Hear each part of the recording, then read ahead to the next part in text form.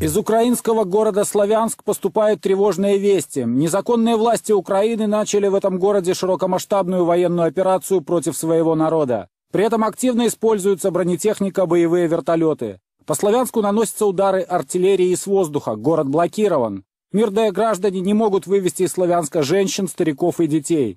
Преступный режим Киева шаг за шагом продвигается к развязыванию на Украине гражданской войны. Нет никаких сомнений в том, что Киев на такие действия решился только при четкой и однозначной поддержке со стороны властей Соединенных Штатов Америки, западных стран и НАТО. Хочу напомнить, что в Чеченской республике от рук вскормленных спецслужбами Запада террористов погибли тысячи человек. Эту же участь народа Украины готовят сегодня те же НАТО и Соединенные Штаты.